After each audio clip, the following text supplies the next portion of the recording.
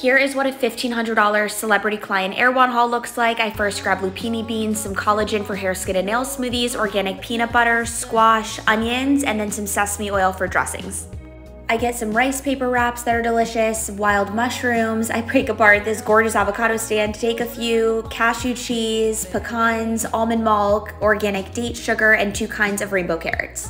I get some collard greens, broccoli, some golden beets that were so sweet and delicious when I baked them, and an Erewhon bag, hashtag designer, some Japanese sweet potatoes, organic free range chicken, and coconut oil.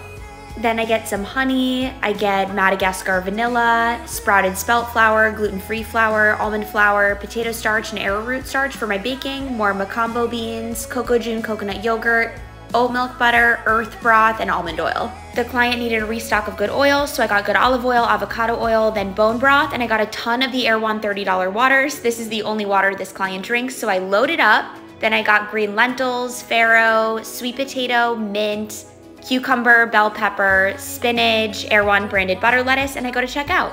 I spend about $400 in the water, which you'll see on the screen, but my total comes to about $1,500 and a full day in the life of what I made is coming soon. Bye.